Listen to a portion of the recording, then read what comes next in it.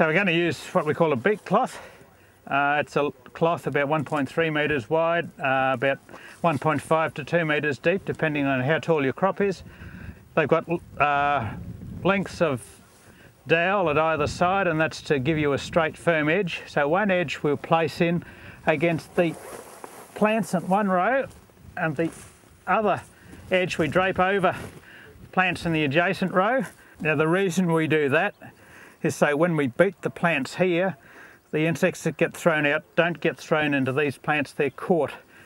We're sampling with a metre stick and that's narrower than the sheet and the reason it's that the sheet is wider is so we catch any insects that splay out either side when I shake.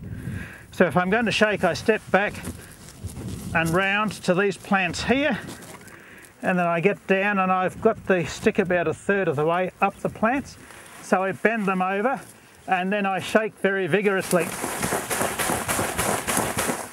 and then I give them a little flick and pull them back away from the sheet and flick anything down into the sheet. Some leaves have come off, but don't worry about the damage because in the scheme of things, we're sampling only a very tiny percentage of the crop and the benefits of making the correct decision because we sample properly far outweigh any tiny amount of damage we might cause. I'm looking closely um, and we can see some a couple of veggie bugs. We can see a there was a green mirid that crept off. So you count any insects that uh, are rapid flyers. There's a little mirid nymph there. We've got a green veggie bug. Would probably be a third instar nymph, and we can tell that by the size with the uh, large number of pale spots.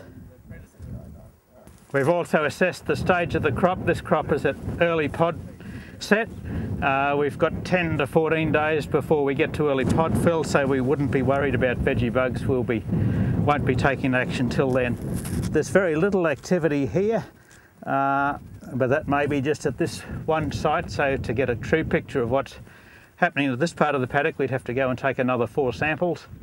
And to get a true idea of the whole paddock, we need to sample five to six sites across the whole paddock, taking five samples at each site.